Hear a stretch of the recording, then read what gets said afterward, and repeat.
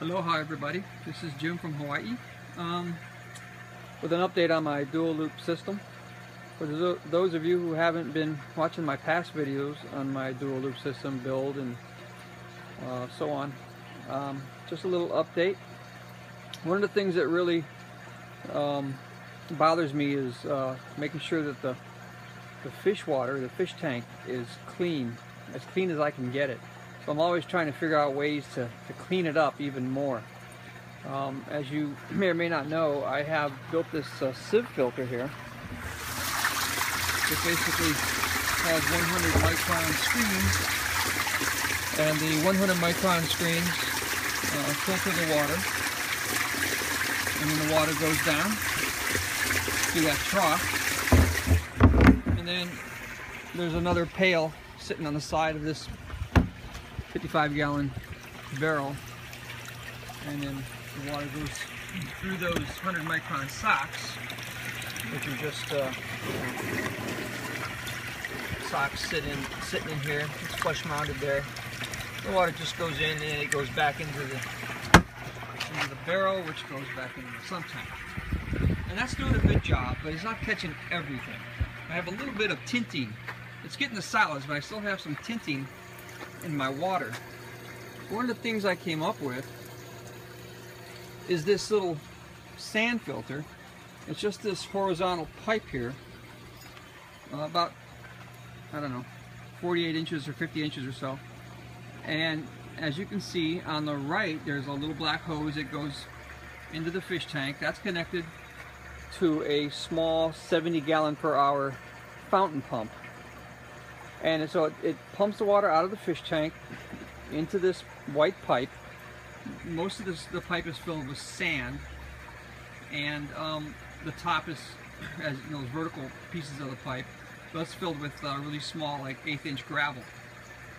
So it goes through, it comes out here, and then it goes into this 100 micron sock, which is here. And then I just put this in so it's clean right now. And that simply um, cleans the water out of the uh, out of the, the, fish tank. It just circulates the water and uh, cleans it as it goes. And I found that works pretty well. Um, this is a lot cloudier a day and a half ago when I first installed this. And now I'm actually able to see the bottom of the fish tank you can look down there and see the uh, the air stone, that little round circle down there. Before I couldn't see that. So this is actually doing a pretty good job. It's slow at 70 gallons per hour, but it seems to be working. So between the sieve filter that I just showed you and this little sand filter, uh, the additional filtration is really cleaning up the water nicely. So I'm pretty happy with that. Um, and I'll just monitor that and see how well it continues to to go. Um, as you can see, the plant side is doing good. Uh, the good news is my fish side pH seems to be steady at about 7 or 7.1. I haven't had to do anything. It's just sitting there right now. And that doesn't mean it's going to stay there, but at least for, for now, it's pretty stable. And the plant side, now that's that pH seems to drop, which is kind of strange, but it, it keeps dropping it was at, just about five. I had to bring it back up to about six. I may bring it up even further to 6.5 if it's going to continue to drop on its own. So uh, it's got less stabilization on the plant side than on the fish side for, for whatever reason. not sure what that deal is.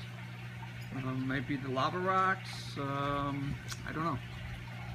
But I'm thinking as hopefully um, as it matures, it, it steadies out a little bit at least but I know some plants didn't seem to like that really low pH.